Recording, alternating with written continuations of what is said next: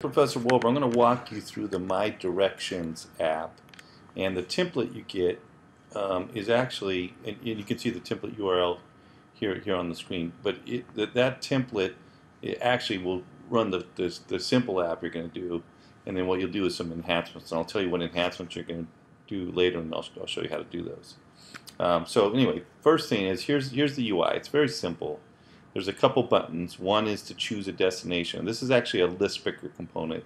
So when the user clicks that, a list of choices comes up, and you know that's where you know the user might choose any location that they want a quick one-click way to, to get directions to it. So maybe it's their office, or maybe it's some basketball gym they always go to, or they only go to every couple months, but they want to get there quickly.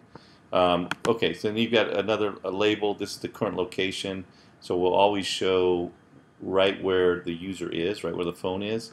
And as you can see, we've got this location sensor component, which is, is the kind of non-visible component that kind of tells you your current location. Okay, the Get Directions button is just a button. When you click it, it's going to show Google Maps directions in this web viewer component. So this bottom thing is called a web viewer. It can show any web page um, in this case, we're going to show some maps pages, and so we're going to use some URLs and, and whatnot to, to show those. Okay, so that's pretty much the UI. There's also a web component.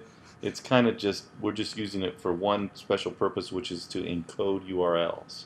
Okay, and I'll show you the blocks for that also in, in a second. And you can see the, my phone's projecting on the screen, so you can see the, how the phone, the app will look um, before you kind of do anything. Okay, so let me click on blocks. Um, we've got a few variables here. One is the maps URL. So this is a Google Maps URL. It's got parameters, okay? So these parameters can say how the map's going to look, and, and we'll talk more about those later. But the, the, this is a basic Google Maps URL except for the source address and destination address, and we're going to have to build that dynamically, okay? Then we've got a list of destinations, okay? And it's empty to start, but we're going to actually set those in screen initialize. I'll get to that in a second. And then the, the kind of starting destination address, which that can change, and the source address uh, is uh, right now current location. So let's just look at the blocks. Um, in screen initialize, what we do is we create our list of destinations. And, and this is the stuff that's going to show up in our list picker. Okay, Like let me just click on the choose destination and you'll see there's two um, items that appear. And in fact, they're the two items that you can see kind of getting put into the list. One is destination address, which is the Summit one, and then one Main Street, Hartford. You know, this is kind of a weird way that we create this list, but we wanted to have a default destination address, and then we wanted to stick two two things in. But you could just put two addresses like Main Street in here as well, or you can put whatever address you want in in there. Okay, so that gives us the list. And then we use this list picker dot elements. We need to set it. And whatever you set list picker dot elements to, that's what shows up in this list that you're seeing right now. Okay, so I'm just going to choose Summit Street. I just chose what, what the user is going to do. So in the list picker after picking, that's after the user has chosen one of the items, um, what happens? Well, we reset the destination, destination address to whatever they chose. So the selection property is whatever they chose, and then we show that address in you know on top of the button for the list picker. So you can see that destination 300.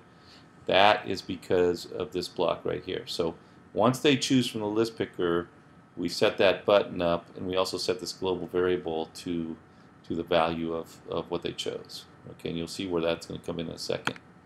Um, all right, so this location change event, very important. Anytime the phone first gets a reading from GPS or you move around a little bit, this guy gets triggered. And what we do is we set the source address, right? So as soon as someone moves or the phone moves, we need to change the current source address.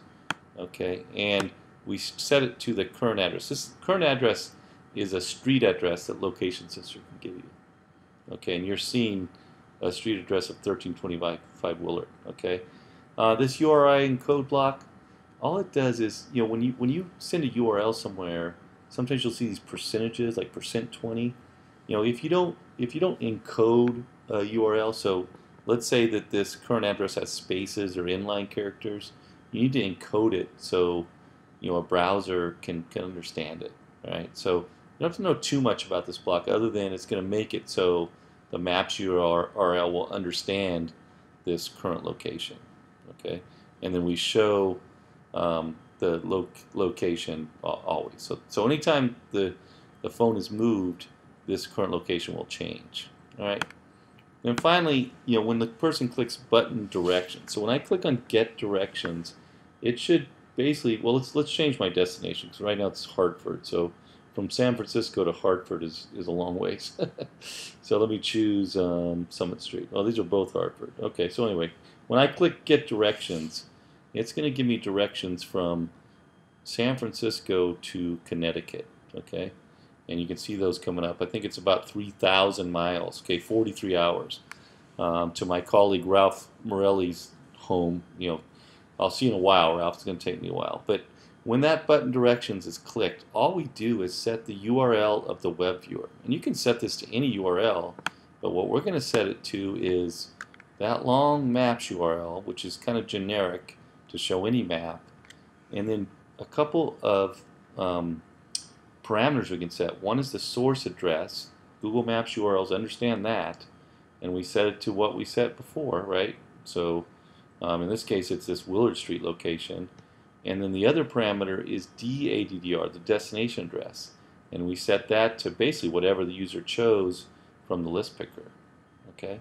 And so that gives us this directions map shown in our web viewer and, and giving us directions from a source address to, to a destination address. So this is kind of how you know uh, my directions app. You, you might use a similar kind of app for a for a map tour or a guide to your school or your or your business. Um, you can use it for a bunch of different things, and it's pretty simple, right? Just a location sensor to see where you are, a list picker to let the user choose different places, and then kind of just building this maps URL in order to, to and, and sending that to WebViewer, you know, to, to kind of show the user, um, you know, give them these one-click directions. Okay, so anyway, that's your walkthrough of the um, the basic template, uh, the the My Directions app. I want to show you just a couple details. One is, whenever you use WebViewer, it's important to um, go to the screen component, all right, and make sure it's not scrollable. Otherwise, the web viewer will continue to go down you know forever and ever. It just doesn't stop. It's it's kind of a weird thing with App Inventor. But when you use it, set that scrollable property to to unchecked. Okay, um, and that's just an important thing with with web viewer. And and finally, just remember, web viewer is for showing web pages within your app. This web component is actually for like getting data from an API, or in this case, we're using it for this one block it has, which is to encode URLs. It would be nice if WebViewer had that. We wouldn't have to even use the, the web component. All right. Anyway, uh, in the next video, I'll show you the enhancements you're going to do to, to the app.